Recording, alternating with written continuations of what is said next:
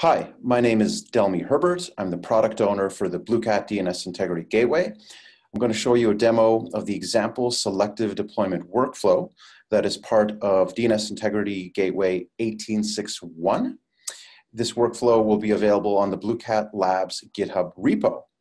This workflow is in support of Address Manager 832 and its new selective deployment feature.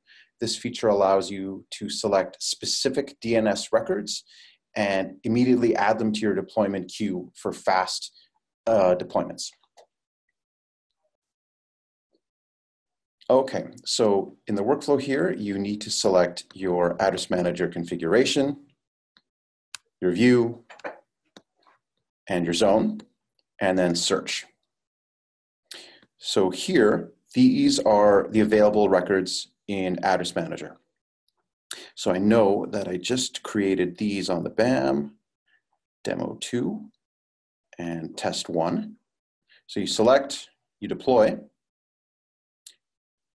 There you see the deployment has started and success, and that's it. And here we are jumping back to the BAM. These are the records here. And if we go to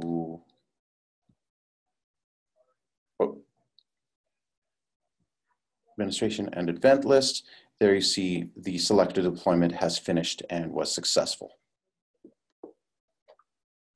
All right, for the 1861 release of DNS Integrity Gateway, we've also refreshed our add, update, and delete host record example workflows. These are original example workflows with Gateway, but now we've added a deploy now option to take advantage of selective deployment in Address Manager 832. This workflow adds a brand new record to Address Manager.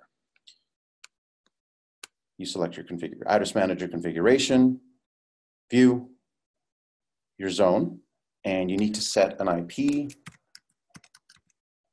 And let's do, and this, it has immediate validation. It checks that the network and the block exist in Address Manager.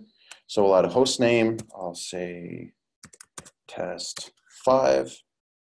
I select deploy now and submit. And there you go, success.